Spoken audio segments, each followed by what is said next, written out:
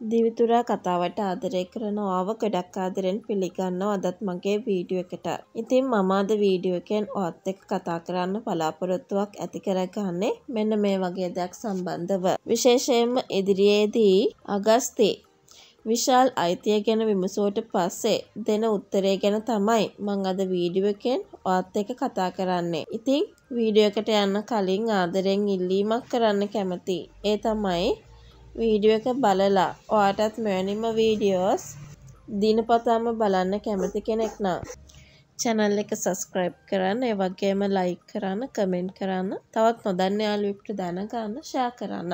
ඉතින් පහුගිය කාලෙම අගස්තේ විශාල එක්ක පැටලෙන අවස්ථා කීපයක් තිබුණා. ඒ හැම තැනකදීම කිව්වේ ඊෂගෙන් ඈත් වෙන්න කියලා.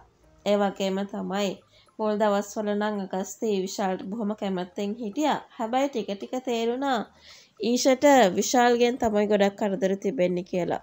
ඉතින් ওই විශාල් කිසිම දෙයක් නොකර කොච්චර ඊෂට ආදරය කළා වුණත් ඔය විශාල් හොයාගන්න ගෑනු ළමයි නිසා ගොඩක් අවස්ථාවලදී ඊෂගේ ජීවිතයට පවා අවදානමක් ආවා. සමහර තැන්වලදී ඊෂගේ ජීවිතේ බොහෝ විට නැති වෙන්නත් තිබ්බා. ඉතින් ඒ නිසා තමයි අගස්ති මේ වෙනකොට කෙලින්ම කියන්නේ විශාල්ට ඊෂගෙන් ඈත් වෙන්න කියලා. මොකද එහෙම ඈත් නොවුනොත් ඊෂගේ ජීවිතේ නැති වෙනකම්ම කවුරුත් නොදැනගෙන ඉන්න වෙන්න ලොකු හේතුවක් ඇති වෙන්න පුළුවන්. ඉතින් කොහොම හරි මේ දේවලුත් එක්ක දැන් ඉදිරියට අපිට මෙන්න මේ වගේ දෙයක් දකින්න ලැබෙනවා කියන කතාව මම ඔයාලට අද වීඩියෝ එකෙන් විශේෂම කාරණයක් විදියට පෙන්වා දෙන්න ලෑස්තියි. ඉතින් මම මොකද්ද මේ කියන්න යන්නේ කියලා ඔයාලට දැන් ගැටලුවක් ඇති මම කලින් වීඩියෝ එකක් කළා ඔයාලට මතකත් ඇති. ඒ තමයි විශාල් කෙලින්ම අගස්තිගෙන් අහනවා මොකක්ද ඔයාලට තියෙන අයිතිය මෙයාගේ මගේ ප්‍රශ්න වලට දාන්න කියලා.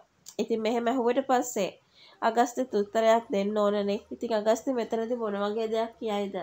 ඔයාලට තියෙන ගැටලුවත් ඒ ගැටලුව වෙන්න ඕනේ. ඉතින් ගොඩක් අවස්ථාවකදී ඊෂගේ නම ඒ වගේම තමන් කවුද කියන එක කියන්න වචන එලියට එන්න පුළුවන්. ඊෂ කියන්නේ මගේ කියලා. හැබැයි එයා ඒක කොහොම හරි ඉගිලා ගනි. මොකද මෙතෙන්දී ඊෂත් බය වෙනවා.